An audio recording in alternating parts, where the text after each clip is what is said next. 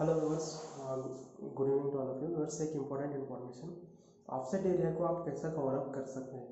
सो offset area जैसे कि ground floor में आप छोड़ते हैं पूरा one B H K ground floor में जो है पैसेज एरिया रहता है। फ़र्स्ट फ्लोर में जो है पूरा फुल कवर करना चाहते हैं तो।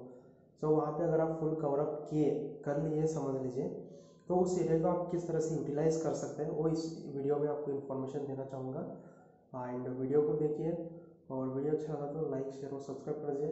एंड क्या प्रॉब्लम होता है और इसका सॉल्यूशन क्या है, आप देख लीजिए।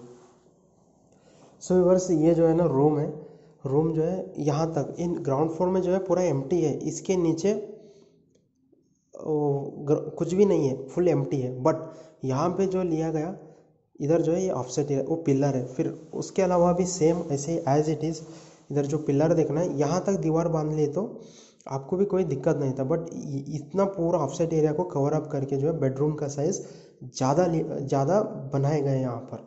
ओके बट उससे एक डिसएडवांटेज ये है, जो कॉलम रहता है ना दोस्तों, वो कॉलम आपको सिंगल पार्टीशन वॉल लिए तो दिख को आता है। सो ठीक है, उस जैसा एरिया में जो है आप चाहे तो डबल ले सकते हैं डबल पार्टी डबल ईट का घर बाँध लीजिएगा। नहीं तो ये कॉलम जो है आपको इस तरह से थोड़ा सा ऑड लुक देता है। तो उसको कवर अप करने के लिए क्या है? यहाँ पर इस तरह से लिया गया ये वाला पोर्शन ठीक है, उसको कवर अप किया गया। बट उसके अलावा इसके अपोजिट में भी सेम था, वही प्रॉब्लम यहाँ पे भी बीचों बीच पिलर आया सो इस पिलर को कवर अप पीछे की तरफ़ में भी आप ऑफसेट एरिया देते हैं, लगभग दो फीट उस दो फीट को कैसा कवर अप किया गया देखिएगा। इधर जो है ना हाँ ये बनाया गया। कवर्ड शेल्स बनाया गया। तो उससे जो है करीब करीब डेढ़ फुट तक तो ये कवरअप कर लिया। बाकी का थोड़ा सा बच गया था नौ इंच वो जो पोर्शन है आपको दिख रहा है। उस कॉलम को जो है पूरा कवरअप किया गया यहाँ पर।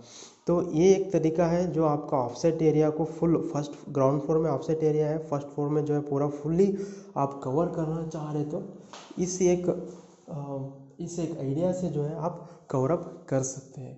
बट अब यहाँ पर देखिएगा यहाँ पे भी सेम वही किया गया कवरअप किया गया तो आपको बीम दिख रहा है। सो बीम के ऊपर दीवार आए तो और अच्छा रहेगा बिकॉज़ बैलेंसिंग सही होता है। एंड ऑफसेट एरिया देने से आपके घर में घर में ही उजाला ज़्यादा रहता है। अगर इनके बाजू के प्लॉट वाले बाँध लिए तो इनके घर में उजाला ऑलमोस्ट नील रहता है। ठीक है दोस्तों तो फ्यूचर का भी ध्यान रखिए, आप बना लीजिए। घर बांधना है तो भी। एंड यहाँ पे इस तरह से लिए गए, ये वाला पोर्शन ठीक है दोस्तों।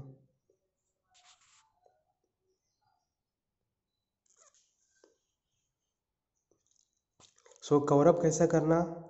एंड दिक्कत ये होता है, अब देखिएगा, ये फर्श है ग्रेनाइट हो या फिर टाइल उसको भी उसको कट करना पड़ता है। तो उधर थोड़ा वेस्टेज हो गया आपका। हाँ ये है कि आपको जगह ज़्यादा मिल रहा है बिकॉज़ ये शेलोज यहाँ पे चले गए बाकी का इतना पोर्शन आपको मिल रहा है। तो मान लीजिए वो यहाँ पे भी ऑफसेट एरिया छोड़ते तो आपको जो है ना, इतना ही यहाँ से लेके इधर तक आठ फीट ये जो है दस फीट आठ बाई दस का ही रूम मिलता था। तो यहाँ पर जो आपको ज़्यादा मिल रहा है। एडवांटेज जैसा एडवांटेज डिसएडवांटेज दोनों होते हैं ओके सिर्फ़ एडवांटेज मिलना भी पॉसिबल नहीं है और एवरीथिंग इज़ नॉट पॉसिबल सब कुछ परफेक्ट नहीं हो सकता है। किसी न किसी में कॉम्प्रोमाइज़ होना ज़रूरी है। ओके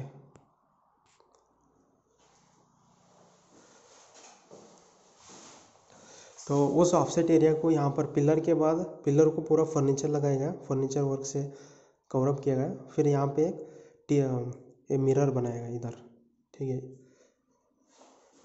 अब एक और एक क्वेश्चन आता है बेड कहाँ पे रखना? वो भी दिक्कत है। ठीक है दोस्तों बेड जो है आपको इस पोर्शन में रखना ही पड़ेगा। यहाँ पे ही ऑप्शन है आपको तो प्राइवेसी कम होता है। यहाँ पे तो रख, रख नहीं रख सकते बिकॉज़ उसको खोलना पड़ता है। अगर स्लाइडिंग विंडोज़ स्लाइडिंग डोर्स रहते तो कर सकते थे कुछ। दरवाज़ा ये बेड रख सकते बट बेड जो है यहाँ तक लास्ट होना चाहिए। इससे ज़्यादा गए तो इधर फिर दिक्कत होता है आने जाने में, ऐसा समझो।